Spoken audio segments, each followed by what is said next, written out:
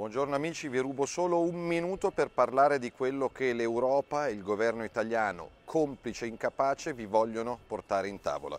Ho qua il documento di tutte le associazioni di produttori e coltivatori di riso, non solo in Italia ma in Europa, che lanciano l'allarme.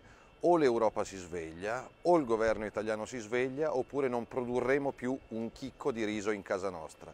100.000 ettari eh, di coltivazione in Lombardia, 100.000 in Piemonte, siamo un'eccellenza a livello mondiale, ma cosa succede?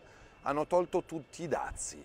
Siamo invasi da riso che arriva da ogni parte del mondo, in particolare negli ultimi anni dalla Cambogia e dal Myanmar.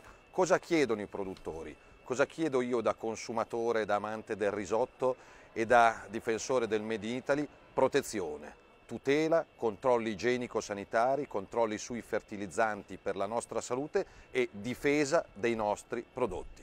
Non è possibile pagare un'Europa che ci riempie di olio tunisino, riso cambogiano, arance marocchine e pesce dalla Turchia. Difendere il Made in Italy, se il governo non lo fa, se l'Europa non lo fa, usciamo da questa gabbia. Meglio soli che male accompagnati.